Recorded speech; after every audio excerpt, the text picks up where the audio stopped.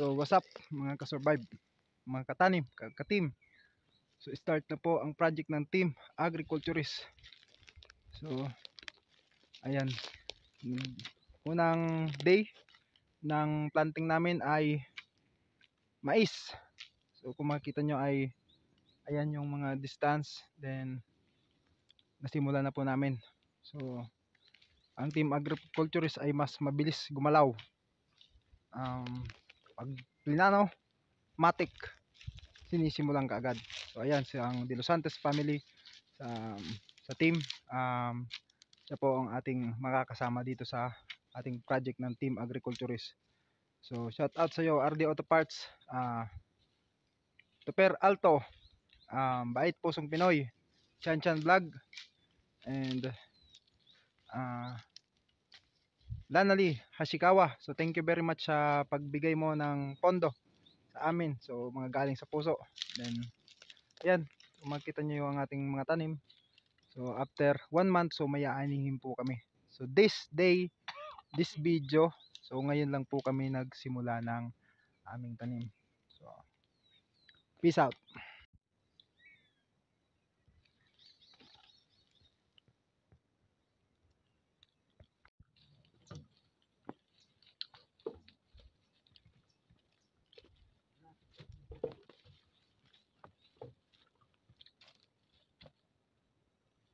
Wala na, wala na. Tomato. Ubas. Ganda ng ubas oh. Ano to? Namumunga to? Sao yan? Ay, hindi pala. Hmm. So, ayan po yung pinagtaniman namin. ah.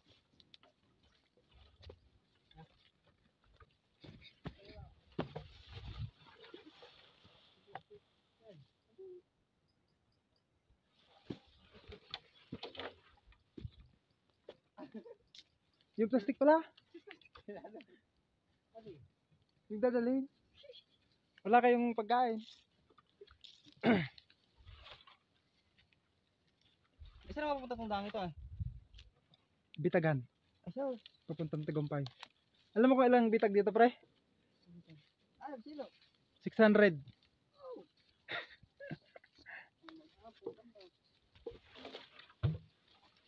Sila Boss Ili ang may ano dito eh.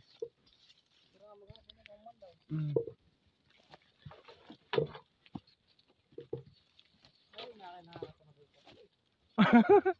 Hindi sa una lang naman, malapit lang naman yan pre. Kaya dito kailangan ang isang baba mo maghapon, iskidulan mo.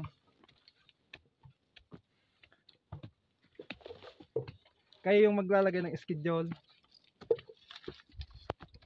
Bawat baba mo, susundan ko din ng tanim.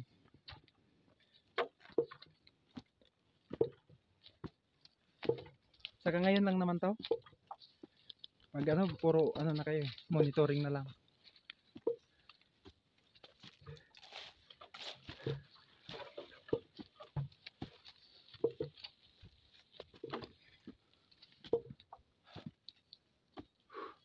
Walang natrap na nabuyot eh.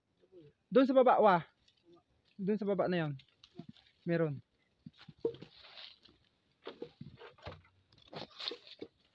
Kung pang ibus ha. Talaga. Marami diyan. Tupulak, lalo pag umaga.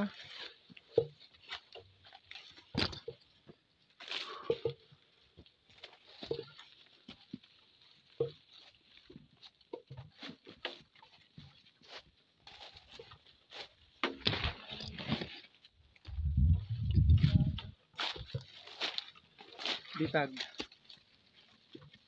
Diyan ang maraming baboy doon. Ano yan? Bukal yan.